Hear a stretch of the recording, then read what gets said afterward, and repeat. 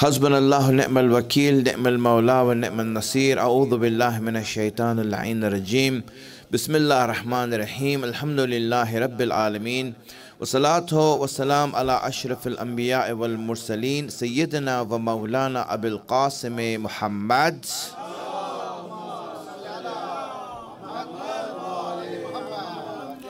وعلى آله الطيبين الطاهرين المعصومين. سيما بقية الله الأعظم. روحي ورواه العالمين له الفدا رب اشرح لي صدري ويسر لي أمري واهل لقطة من لساني يفقه قولي What level you're going to be in Jannat or your life forever is decided here. So it's the level that you reach. So these are the two things we discussed so far you know, the length of life and the height of life. Now, uh, the reason I mention this for the kids, right, and obviously, you know, they will just know the terms. But for adults, they should know the meaning. The fact is that if we don't know life, then we will die a miserable death. And most people die a miserable death. Right? The again, as I said, the only thing that you can be thankful for in LA when you die is Ebola, you know? That's there to do your last rites, you know? Otherwise, life wasn't fun. It wasn't satisfying. It wasn't gratifying. We went through life. It was really something sorrowful when we don't know what it is, what we're doing. And hence, if I know that I'm going to live forever, and whatever I am going to become depends on here, then it means that this life here is going to be very exciting. I should be motivated to do everything. The motivation for a believer comes from here. I don't have time. I need to do whatever I can. I need to leave my stamp and my legacy behind. I don't have time to waste around. I don't have time just to wander around and see what's going on here. Really, I need to be motivated, inspired to do everything that I can. And that's why a mu'min is involved in as many activities as you can find that are going to bring about ajr and sawab and reward for him. He's always involved in that, doing something. I need to because I can't waste my time. And that's why he is not just doing things, he is trying to compete with others to do good. Why is that competition there for? The competition is because of the sense that I want to get as much as I can for my akhirat, for my real life. That's what it's for. So, my friends, this is the height of life, and we discussed this. Now, I want to go to the width of life. And I said the last week that we have, I want to discuss that, and and this will give you a complete picture of life, of what it is. There was a story, almost real life, right? But it seems very surreal when you actually look at it. Uh, but what happened is that this uh, grandfather came from a village in Pakistan, you know, from Punjab. He came here to see his family for the first time. His son was had immigrated to America, got married here, his kids were raised here, and so he moved here and so, after a long while, his father came to see him. The father, when he came to see him, right, now his sons, his grandchildren now are in high school and they're involved in sports. They play basketball. He has no clue what basketball is. He knows cricket, right? So now what happened is that he. Uh, the grandson said, You want to come and see my game, you know, basketball game. So he said, All right, let's go. And then, so what happened is that they went to see the basketball game, and so he was seeing that there's one ball, and all these players are there, and they're all like playing with this ball and and you know so the grandson is explaining right that you know i mean you win by scoring so you try to steal the ball from others and he saw that this is, stealing is haram you know? You know and they're fighting for a ball. Poor kids. You know they must be poor right so he said you know uh, take me to a place where you can buy basketballs so they went to walmart you know and so, you know, he then bought a lot of balls, basketballs, you know. And he came back and then, you know, he saw these people playing the basketball. So he said, Here, have these balls. Now everyone can play with their own ball.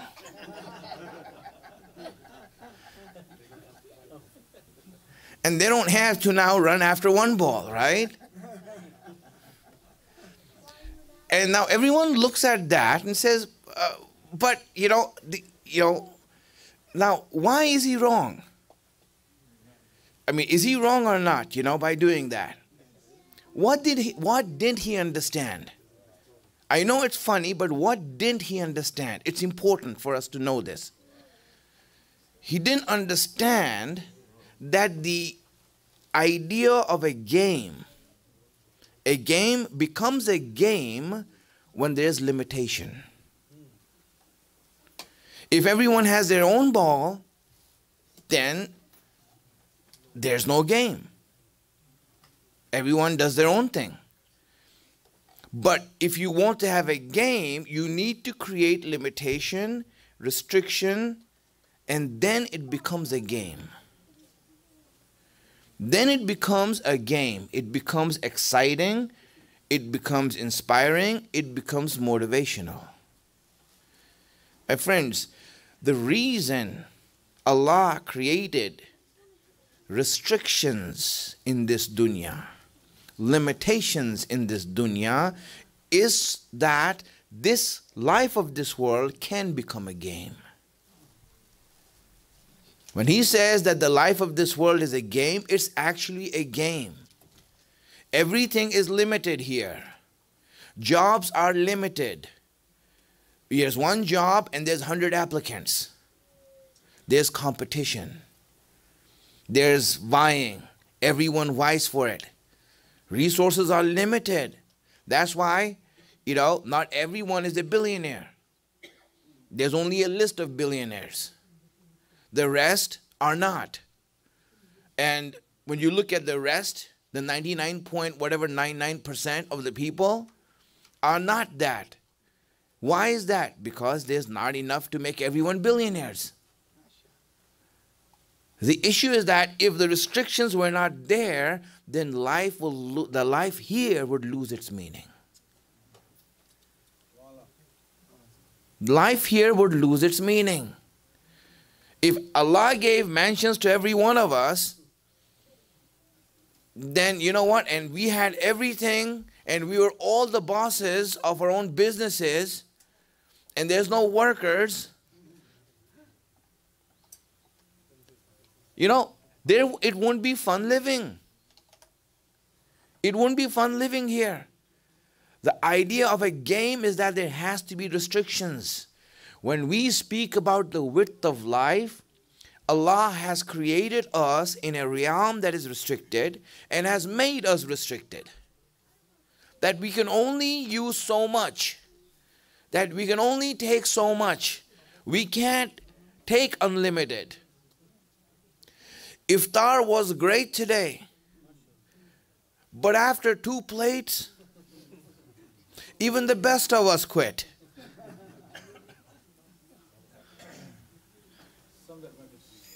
Some, yeah, you know, I mean, good for them, you know. And so what, what happened? Why did you quit? Why couldn't you do more? I mean, iftar, food, is Allah's blessing, right? It's Allah's blessing. And Allah wants to give you blessings. But the problem is, we can only take so much. We can only take so much. Imagine this, you know, for example, when you are doing whatever you can, you'll see that just only a little bit you can take. Knowledge. How much knowledge can you take? If I start learning, if I go to a college, anyone who has been to college or school know this. If you take, for example, 12 credit hours, you're a full time student. If you take 15, you're pushing it. If you take 18, you're living on coffee. And if you take more than that, you know, but you know what I'm saying. The there's only a limited amount of capacity we have to take knowledge. Food, we can only take so much. Allah's blessings, we can only take so much. Why is that? That limitation of us unable to use Allah's blessing is a limitation that Allah has created us with. We all have it. We all have it. I know some mu'mineen from some parts of the world, I've been with them. When they have iftar, at first they serve chai. At first they serve chai. Why? And I asked, you know, why? I mean, as a in the masjid, they all drink chai first and then they go for the food, right? I'm like, why are you drinking chai first, you know, and all that? He says, because chai is hot, it will expand the stomach. so we can get more in. I mean, I was shocked, you know. I mean, I don't know if that works or not, you know. But that might be some sort of thing that they learned, you know. And and and you see why? Because you only have a limited amount of capacity. Some people have, that's it. This, this limitation that we have is what makes us unable to use the blessings of Allah. So, what Allah does is that He doesn't do israf. He will only give you that much blessing that you can use. If He gives you more than that, then it's not meant for you, it's meant for someone else. You see, Allah, when He gives you blessings and ni'mat and rahmat or rizq, your rizq is what you can use. Everything other than that, Allah has given to you as an amanat to give to someone else.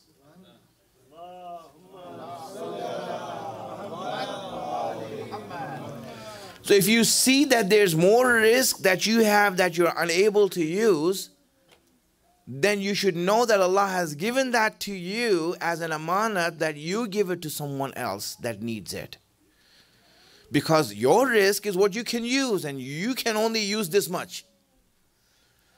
You know, there was an interview I read long time ago of this um, Arab guy from the Middle East who was a arms dealer. You know, and uh, the interview was because of the fact that he was one of the richest men in the world.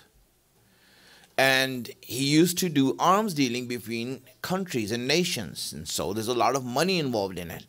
So you know i mean some of us our income is for example a yearly income right? You know our income is such that it can be counted as a yearly income. How much do you earn a year?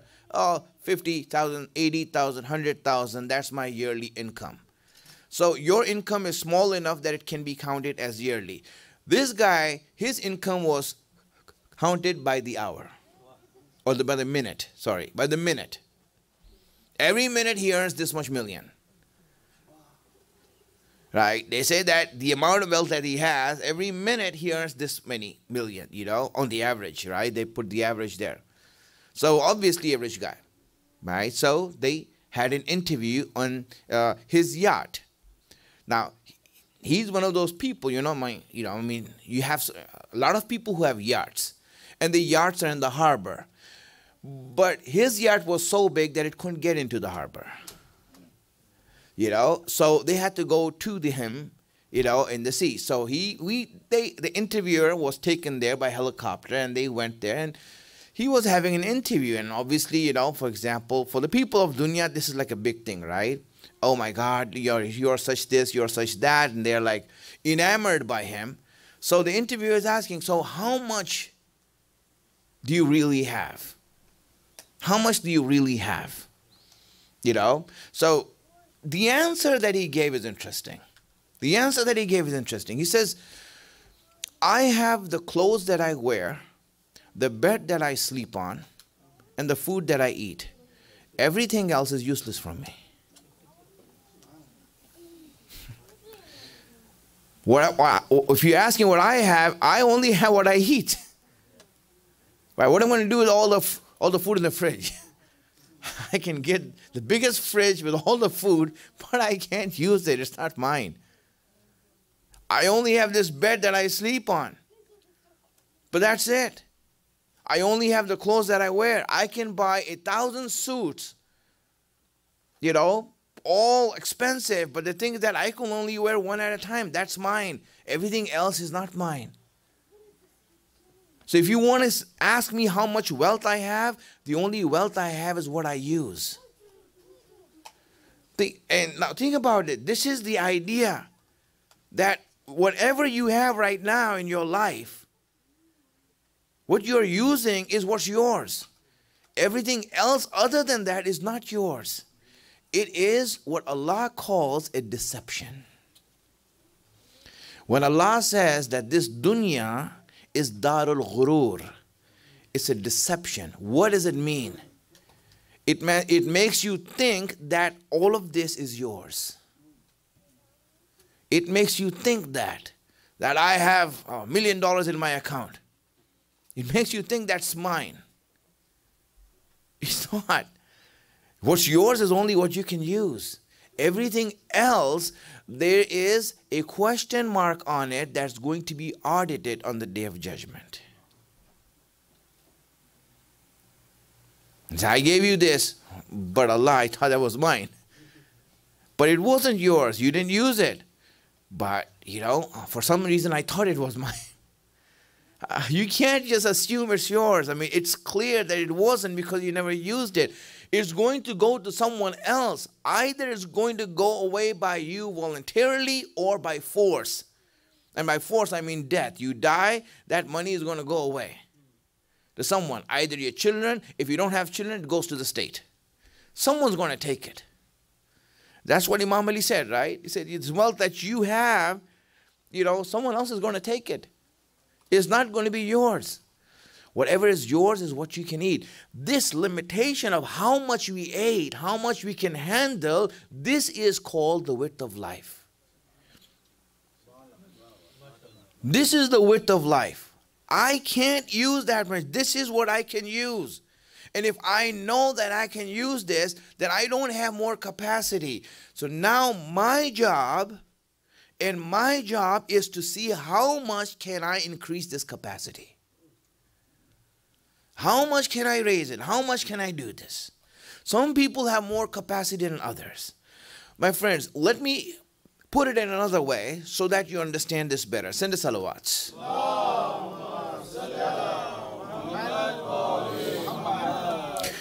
Now, tell me, do you really think, you know, that Allah is generous? He is, right? You do you believe that he's not stingy? He's not, right? Very good. Do you think that he has an unlimited amount of wealth? Right? That if he makes every one of us billionaires, he's not going to run short. Right? So he can give us a pocket allowance, you know, in nine digits, ten digits. And there won't be any hurt on his pocket. That's true, right? That, that's God. We know God. He's unlimited. What he has is infinite. And he's generous and wants to give. What is it that's holding him back from giving? Why, Allah, aren't you giving? You know, you're generous, you have enough. Why are you not giving me? Because our capacity is limited. You see, we are like a glass. If you put water, you'll see you'll only put that much water that you can fit there. Anything more than that, it will fill over and it's not yours it will fill over. And hence, what you have is that much capacity. Only that much capacity as you have. Otherwise, He wants to give. Let me just give an example and then you'll understand this better. You know, for example, you see that if you well, you know what I say about you know writing books, leave that alone, right? Let's say, for example, uh, we donate something to the masjid, right? And uh, for example, you know, uh, and everyone now we started Imam Ali Center, and everyone is giving something or the other, right? And uh, for example, I donated the vacuum. Let's say I donated the vacuum. So of all the things in the masjid, you know, the thing that came from me, let's say, is the vacuum. Now, for some reason, everything that when we are talking about the masjid, this and that, I want to bring everyone's attention to the vacuum. You know, if you notice the vacuum. now, I mean, really, I just gave that vacuum. But now I want everyone to pay attention to the vacuum. Allah gave me tawfiq and blessing that I could donate a vacuum for His cause. But now I want everyone to know that I did it. You see, a little blessing Allah has given me has gone where? To my head. Right? It's gone to my head right away let alone, you know, writing a book. You know, you write a book, for example, you will see that the title of the book is, you know, you know, I don't know, Tawheed or Allah or whatever you write it. You'll see that, you know, I want my names in bigger fonts. you have a small artwork of Allah and my name in bigger fonts, right? You see that Allah gave you the tawfiq of doing this much work, but you know, it went to my head. Really, it went to my head. Now imagine if we had done greater things. Oh my God, you know, if we had more fazilat than that, if we had greater tawfiq and blessing than that to do greater things, you know, I mean, we're just, you know, be on our way to being God now, you know. Worship me. Praise me. You know, I mean, that's how we will be. And that's why you see that we don't have that much tawfiq to do that. Really, if, you know, if we were the one, if we were the one who struck Amr ibn Abdul if we were the one who uh, took out the door of Khaybar. Imagine that. If we were the one who did that, I mean, I tell you, right? Islam would be in my name, you know. It would be in my name, you know. I'm that guy who did this, you know. We'll be ruling over others, dominating over them. It'll go straight to our head. Our head will become so big, they won't be placed on this earth to put it. This is how much our ego will become. But when you look at Imam Ali,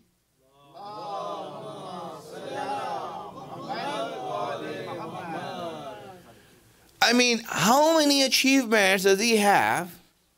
That for every one of those achievements, any one of those achievements, anyone would dream to have in their name. Dream to have. Oh, I wish I was that. We have, you know, I won't say hadith, sayings of Umar ibn Khattab, you know, who said, what? Who said that? You know, I wish I had these achievements that Ali made if they were in my name. You know? You know, I wouldn't just be the Khalifa, I would be a prophet after the prophet, right? And I'm just making the last part up. He didn't say that, right? what I'm saying. But he wished for it. So why did he wish for it? Sure that, you know, I mean, he has so much achievement. And then when you look at Imam Ali, with all the achievements that he made, with all the greatness that he had, and everyone is indebted to them, each of those things. For example, in one hadith, for example, Rasulullah said that everyone is indebted to Ali. Islam is indebted to Ali. I mean, Islam means that Allah, he, you know, when he looks at Imam Ali and what he has done for Islam and to save Allah's message, you know, I mean, it's amazing what he has done. And then when he unhooked, unhinged the door of Khaybar, here Imam Ali is walking back, and people saw that. They saw that he just took out this door that takes 20 men to open. With a, his own thing, with bare hands, he took it out. Some places says with two fingers.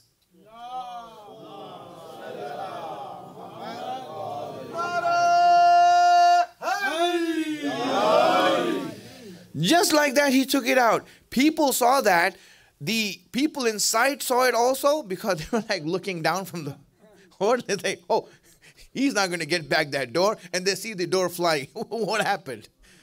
You know, they were looking at that door. And on the other hand, the Muslims saw what was going on. And no matter what you are and how much you hated him or how much you disliked him and how much you were jealous of him, but the fact that he did that gained the admiration of everyone. I mean, everyone was talking about him. Did you just see what Ali did? He saved the game. You know, he just blew away everything, blew it out of the water. It's finished. I mean, everyone was talking about Imam Ali, and you know, this was the time, you know, when, for example, after a good speech, everyone is like, you know, good speech, you know, and there you go, you know, yes, of course, you know. And here he is saving Islam, and even the Prophet saying this that what, what Ali has done, he is, has made everyone indebted to him. And then when Imam Ali walks back to the Prophet, he walks back to the Prophet and to the Muslims, and the Muslims are like, you know, just cheering him and praising him and all these things. And the only thing that Imam Ali could tell the Muslims, the only thing that he could announce, and the only thing that he said to them is that it wasn't me, that was Allah who did that.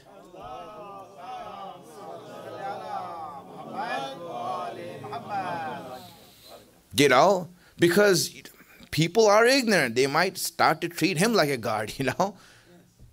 They have done that before. So he said, No, it's Allah who did that. Not me. It's His strength. You know, Quwwat Rabbani. That's His strength that did it, not my strength. You know, He's the one who gave me the strength. The fact is that, you know, look at Him. All these things you said, and you are pointing to Allah. And one small thing that we do, and we want everyone to see our vacuum. I mean, really, my friends, why is that? The reason is because Allah says, I can't give you more than this because if I do, it's going to go to your head. You will be destroyed. You will become Fir'aun. You will become Namrud. That's why I keep you here because you can't handle it. Well, uh, but when he, when Allah wants to give, He gives everything.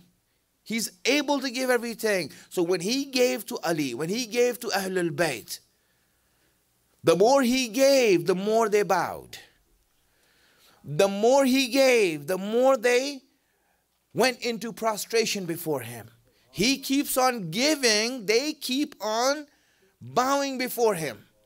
And so he kept on giving until he gave them the power of the universe. Why do they have the power of the universe? Why Allah say that now you have authority over everything? Why? Because every time Allah gives, it doesn't go to their head. In fact, their head goes down before Allah. So Allah has the power to give. He has enough to give. We can't take it. We are unable to take that from Allah. We are incapable of taking that. So, what Allah wants us to do in this life is to grow that capacity. to grow that capability. The width of life is this restriction that is there. And I'll explain that restriction, how many types of restrictions we have. And then, inshallah, we'll start to understand so many things in life.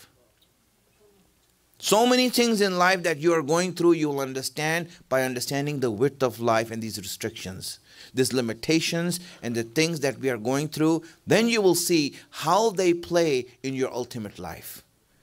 So, inshallah, we will go through that in the next week that we have. One more week left, and I want to wrap that up and explain that in these days that we have.